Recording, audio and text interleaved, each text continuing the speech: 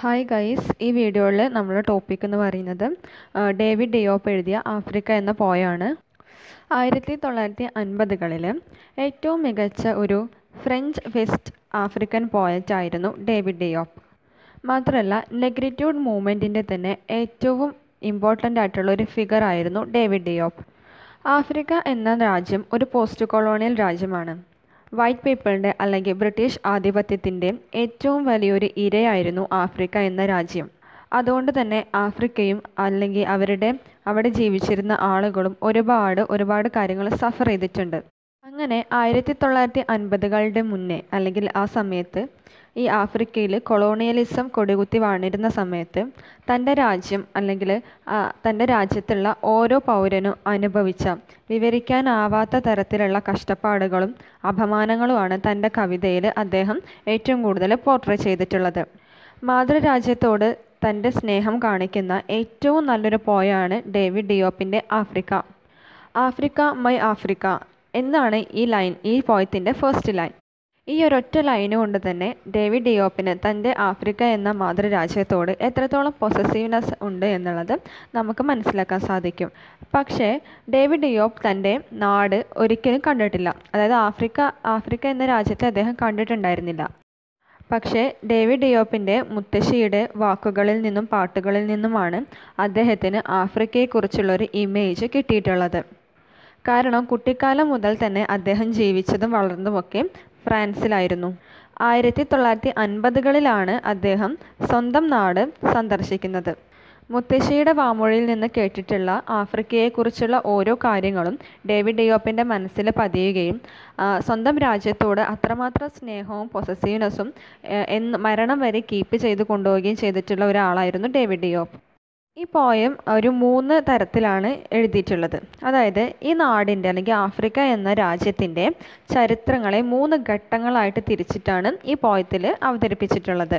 അതിൽ ആദ്യത്തെയാണ് ആഫ്രിക്കയിലെ ഗോത്ര വിഭാഗങ്ങളിലെ നല്ല യോദ്ധാക്കളെ നേതൃത്വം നൽകിയിരുന്ന കോളനി വാഴ്ചയ്ക്ക് മുന്നേയുള്ള കാലം. അതായത് കോളനൈസേഷന് മുന്നേ ആഫ്രിക്കയിൽ നല്ല സ്ട്രോങ് ആയിട്ടുള്ള ആളുകളുണ്ടായിരുന്നു. ഉണ്ടായിരുന്നു അവരുടെ ട്രഡീഷണൽ ആയിട്ടുള്ള കാര്യങ്ങളും അന്നത്തെ കാലത്ത് അവരനുഭവിച്ചു പോന്നിരുന്ന സന്തോഷങ്ങളൊക്കെയാണ് ഫസ്റ്റ് പാട്ടിൽ പറയുന്നത്.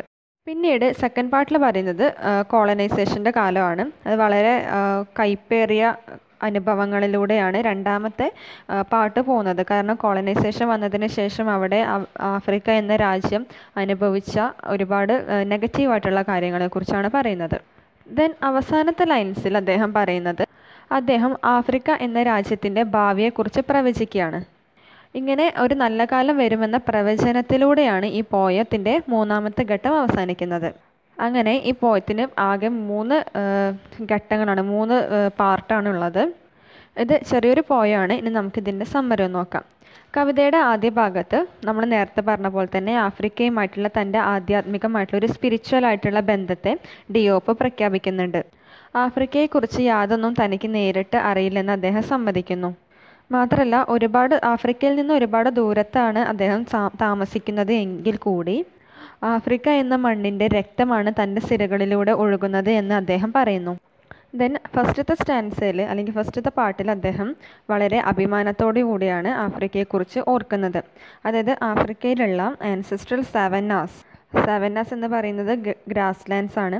അവിടെ ആളുകൾ വളരെ ട്രഡീഷണൽ ആയിട്ട് ജീവിച്ചു പോന്നിരുന്നതും അതുപോലെ അവരുടെ രാജ്യത്ത് അല്ലെങ്കിൽ അവരുടെ ആ ട്രഡീഷണൽ ആയിട്ടുള്ള ഗോത്രങ്ങളെല്ലാം ഒത്തുകൂടി സന്തോഷത്തോടെ ജീവിച്ചിരുന്ന കാര്യത്തെക്കുറിച്ചാണ് ഫസ്റ്റ് തസ്റ്റാൻസിൽ പറയുന്നത്. ദെൻ രണ്ടാമത്തെ പാട്ടിൽ കോളനൈസേഷൻ വന്നതിന് ശേഷം ഈ ഒരു സ്വേച്ഛാധിപതികളെ എങ്ങനെയാണ് ആഫ്രിക്ക എന്ന രാജ്യത്തെ ചൂഷണം ചെയ്തിരുന്നത് എന്ന് പറയുന്നുണ്ട്.